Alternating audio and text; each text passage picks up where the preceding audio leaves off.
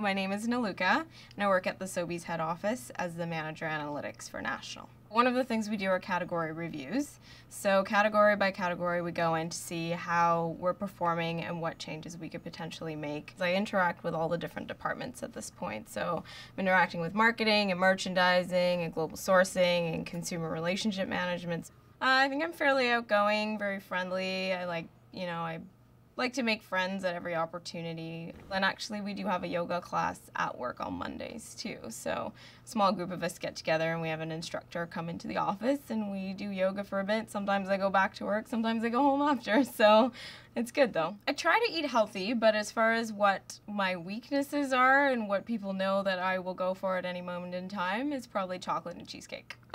Having put myself forward and saying, you know, this is what I'm capable of, this is what I want to do, and being clear about, um, you know, times when I wanted to take on additional responsibilities, I have had really great opportunities to move around the company, learn really quickly, and get some really good experience.